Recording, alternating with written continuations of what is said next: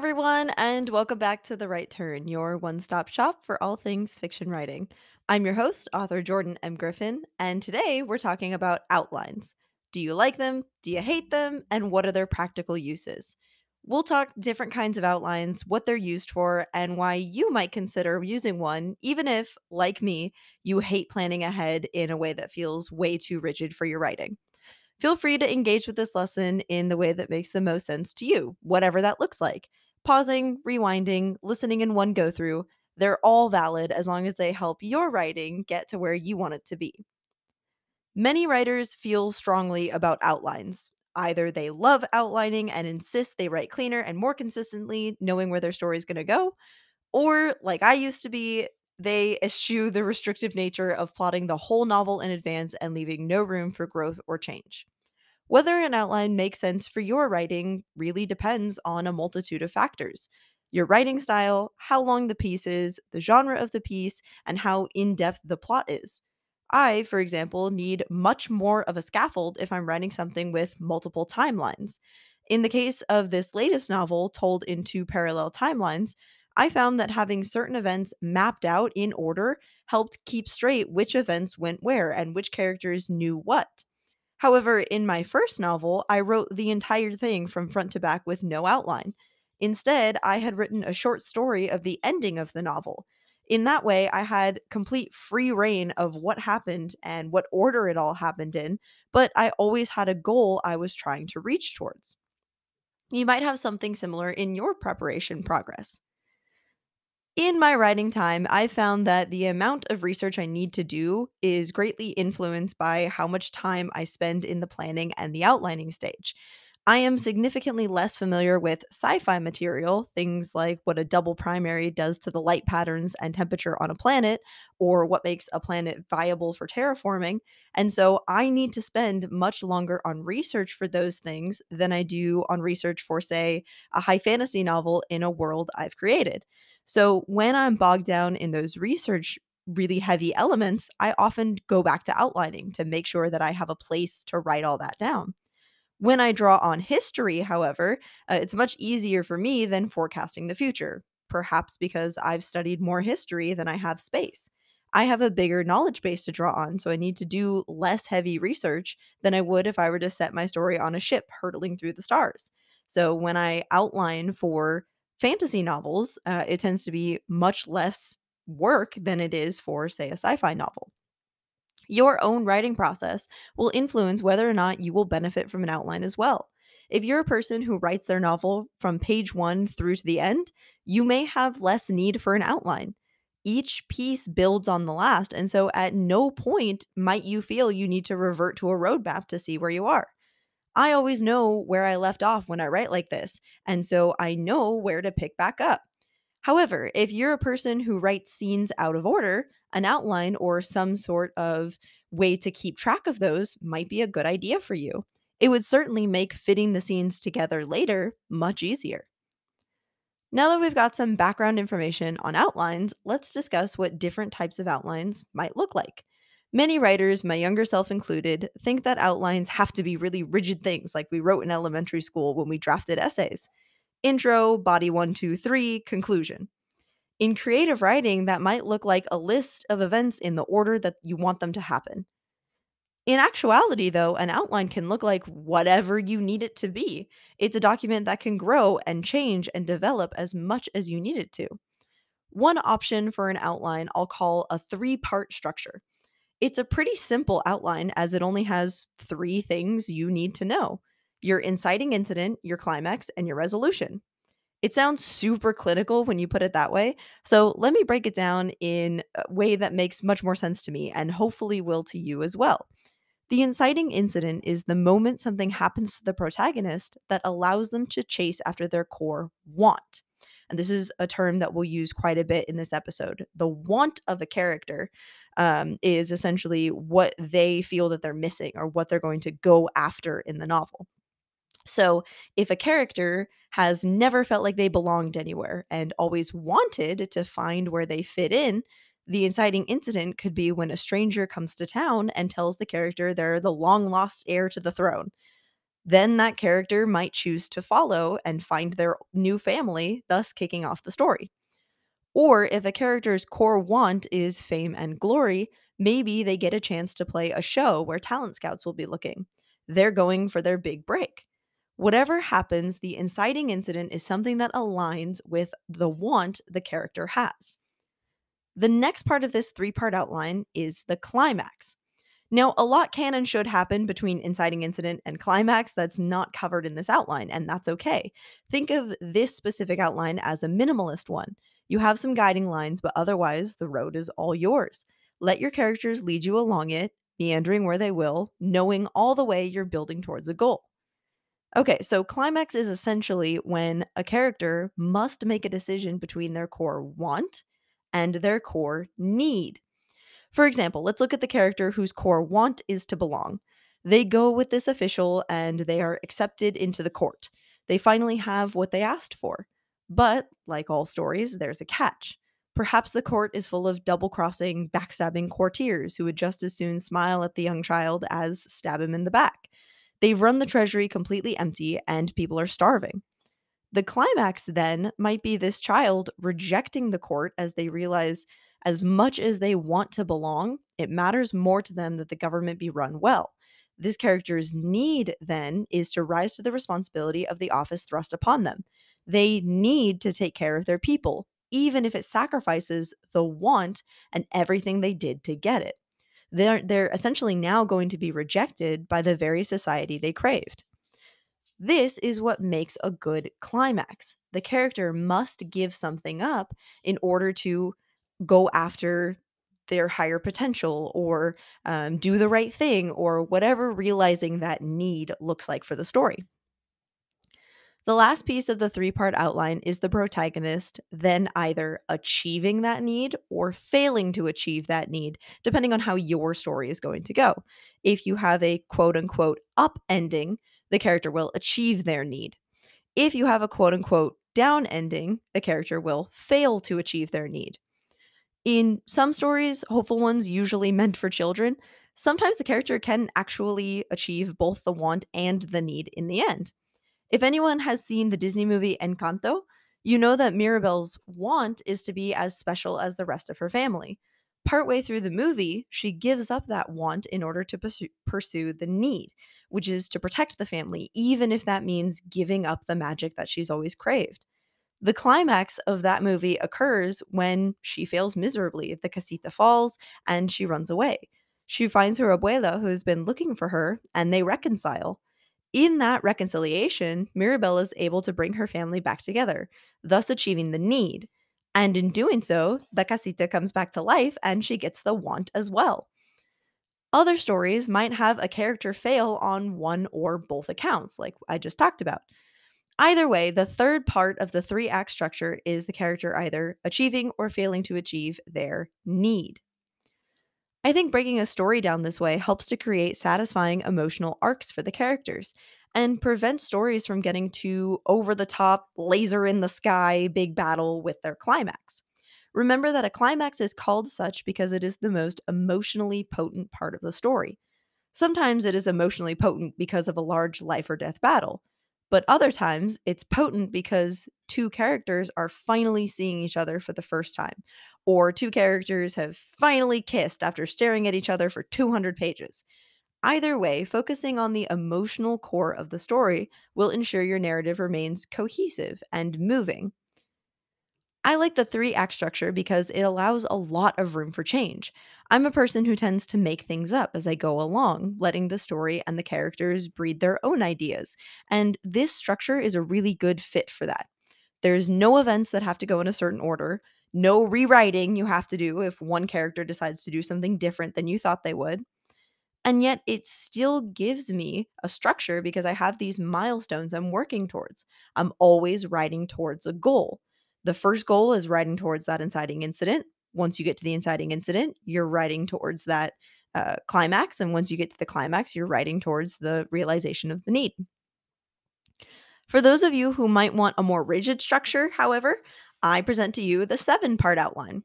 I've also used this one, especially if I'm writing more plot heavy or complex stories. I like this structure because it still focuses on the emotional through lines of the story and so helps keep the narrative cohesive. It does have a little wiggle room for how characters get from one step to the next, so it's not too too restrictive, um, but it gives much more of a scaffold for those writers who do want the extra road signs. So the seven part structure starts with step one, the opening. A character exists within some status quo. They have a job, a task, a position. They're in surroundings they are familiar with. The length of this step will vary depending on how much work you might have to do building your world and the relevant parts of the character's life. A world that we are familiar with will require a much shorter opening. A world that we are not familiar with might require much more of an opening. At some point, you will reach step two catalyst. Something happens to the character, and this is important. The character does not make any decisions about it at this point. Something happens to them that disrupts their status quo. Someone might die, or someone might arrive in town, or they get told they are the chosen one in the prophecy. Whatever it is, it must disrupt their life significantly enough that the character is forced to make a choice about it. And that choice brings us to step three. I call step three no going back. At this point, the character makes a decision that cuts them off from their previous self. There is no way for them to return to the life they were once living. You can do this by moving the character geographically. You can move the character temporally, so there's a time shift. Uh, you can change their societal status. Maybe they come into a lot of money or they lose a lot of money. Uh, for example, what if a character is framed for a murder they didn't commit? Step two, right? That's an inciting incident. And then they decide to go on the run and clear their name. That part's the step three. They may have been informed that they have been chosen as the neighborhood witch's new apprentice, right? That information is step two. Something happens to them. And then they decide to check it out for themselves and see what this is all about. That's step three, the decision. You can see how step two and three are quite intertwined. However, the distinction between them could not be more crucial. Step two, the catalyst, is not something the character has agency over. Step three, no going back, is a choice the character makes freely and readily. Some time will pass. The character might learn more about their new surroundings, or they might just be trying to keep up with the way that their lives have changed. But eventually, we will get to step four things go wrong. The character winds up in some sort of trouble. This might be a series of financial decisions that go wrong, or an approaching army that is nearing by the day, or a failure in the spaceship. It may or may not be the character's doing that they wind up here. Maybe they've tried their best, but it's not working. Maybe they're bullheaded and refuse to see that things are taking a turn for the worst. Keep in mind that at this stage, the character has not advanced so far that they can't backtrack. They can still return to step three. So they can't go all the way to step one, but they can still get back to step three. So if they're that witch's apprentice and they're really bad at magic and everything is going wrong, they can still go back and say, no, no, I, you know, I don't want to be an apprentice anymore and try again. Another way to think about this is that they still have options. That advancing army may not be turning around, but the character has several different things they can do about it. They can offer diplomacy or bribe the invading leader or burn and salt the fields they land on or even march their own troops out to meet the invaders. At some point, however, we will reach step five crisis. The worst has happened. Things are dire. The character has no other options. Maybe they've been betrayed, or the antagonist has gotten the upper hand, or the person they were trying to protect has indeed died. Whatever it is, they are out of options at this point. They must resort to that thing that they didn't want to do, or that person they never wanted to see again, or something similar. They put aside their own pride and examine what is really at stake here. Often, dramatic and profound character introspection will happen at this stage. And between step five and the next stage, the character is going to essentially let go of their want and start to understand their need. So if they are that the leader of the invading army, right? Or they're trying to figure out what to do about the invading army. If they really, really wanted peace, but peace is not going to protect their people, then they might let go of that want and realize their need, which is whatever they have to do to protect their people. Eventually, we will get to step six climax. Acting upon the introspection, the character is able to rise to the occasion and meet whatever force is uprooting their life. This might be confronting their mother, or coming up with a sneaky plan to stop that invading army, or matching their political rival at the big debate. Note, not all stories, and we covered this before, but not all stories must have a character successfully overcome this challenge. If you're writing a story in which a character's failure is a very large part of your plot, such as a fatalistic story or a commentary on the hubris of pursuing an endeavor that you were in no way qualified for, your character may not come out of this step victorious and your story might end on a down note. That's totally fine. You can work this outline into whatever way makes the most sense for your character. This brings us to the final step, step seven resolution or change. I like to think of this step as picking up the pieces. If your story's climax was a big blowout fight between the members of the family, then what happens next? Are there apologies that are made and the characters reconcile? Or does one person storm out the door and never come back? Your protagonist will have to settle into whatever the new normal is, and that's what this step is about. Once the story is at a place where the reader has achieved an appropriate amount of closure, you know, you'll need more for standalone novels, less for series, then you're good to say your goodbyes and get out of your story. Now, of course, this outline can be tweaked to fit your stories and your characters' needs. It's important to note that not every step will take the same amount of time. I find in my own stories, step two, which is the catalyst, happens really quickly in the novel. I tend not to spend a whole lot of time on the status quo, I just kind of throw them in there. Step three and four for me then actually take the majority of the novel. And by the time I get to the climax, things start happening very quickly again. Whatever it looks like for you, however long you take for each step, it's perfectly all right. The outline is not meant to be uniform. In fact, it's quite the opposite. It's meant to grow and change with your character as your understanding of your story evolves. I found that often, by the time I hit the midpoint of my novel, who I thought the characters were at the beginning is wildly different than who they actually turn out to be. I then usually have to go back to the beginning and tweak the character in the prose so that it reflects my new understanding of my character. This is normal. I think a lot of newer writers get scared by the amount of change that happens to a story as it builds upon itself. They think that all their work is wasted if they cut those 50 pages that aren't working and rewrite them. In actuality, that could not be farther from the truth. The story is so much better because you wrote those 50 pages, even if you do end up cutting and rewriting them. You understand your character much more now than you did at the beginning, and you can much more confidently take the story where you know it needs to go. So don't shy away from revision. Honestly, revision is half the fun, and we'll do another podcast topic on revision itself because there's a lot we can talk about there. But I think a lot of people divide in their heads the writing and the revision, and it really shouldn't be that way. The revision is just step two of the writing. The last style of outlining I'll cover is courtesy of fantastic genre writer Molly Gloss. If you haven't heard of her, I highly re- recommend that you check her out. Um, she writes pretty much everything. She has a speculative fiction novel called The Dazzle of Day, um, she has Jumping from Horses, which is a like a homestead western type of novel.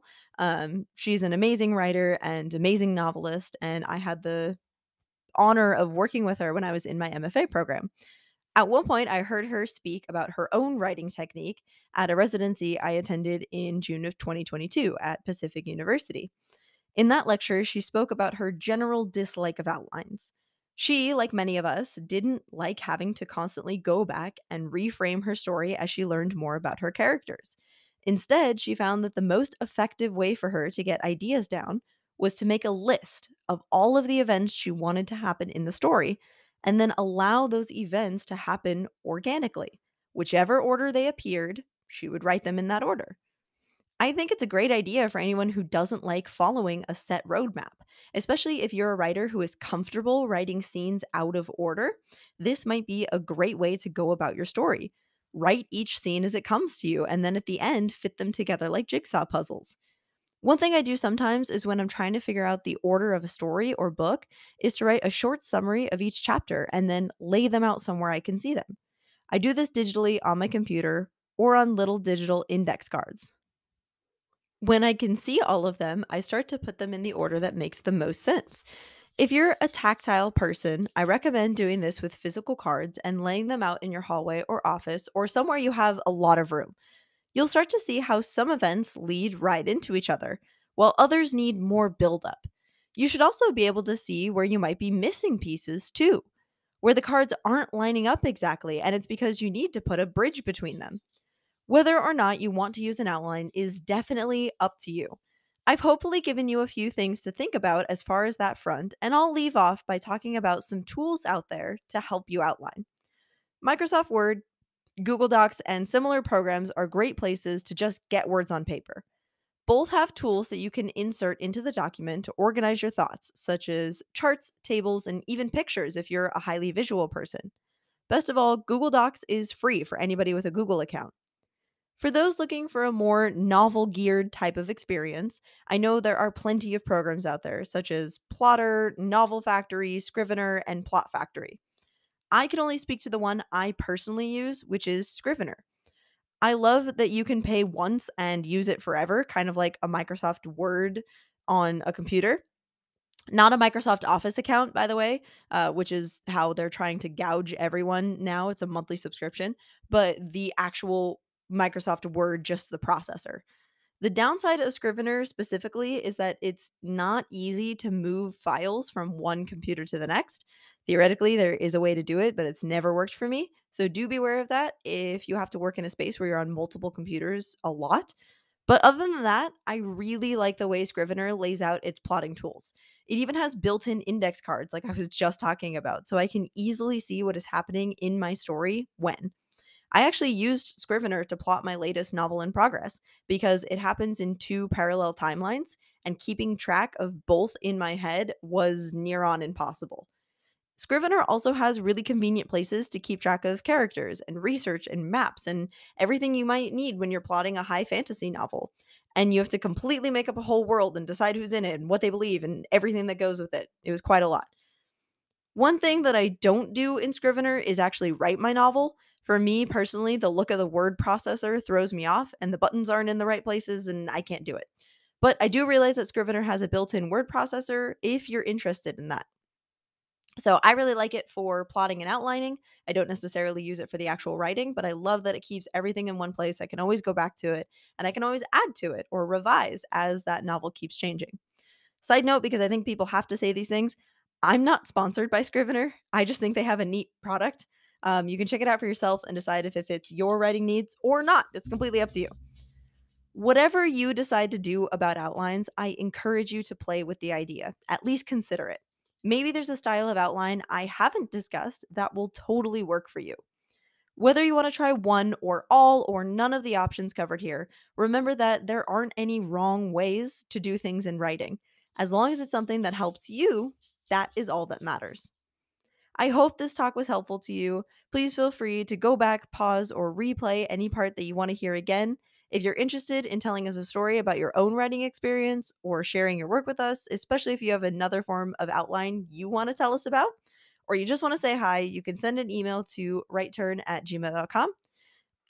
That's W R I T 3, the number 3, T U R N at gmail.com. Or you can click the link in the description of this episode. If you'd like to engage with the community in other ways, you're welcome to subscribe to the newsletter at jordanmgriffin.com, which will tell you when new episodes come out since we're about on an every other week upload schedule right now. I hope for that to go to an every week schedule uh, after probably after April 14th. I can be much more consistent with these. Um, but in addition, I do have an Instagram also, which will let you know when I upload videos and podcasts and things. Uh, link will be in the episode description. As always, I hope this episode was helpful to you, and I wish you all the best in your own writing. Have a great day, and if it's not a good one, I hope that the next one is better. See you next time.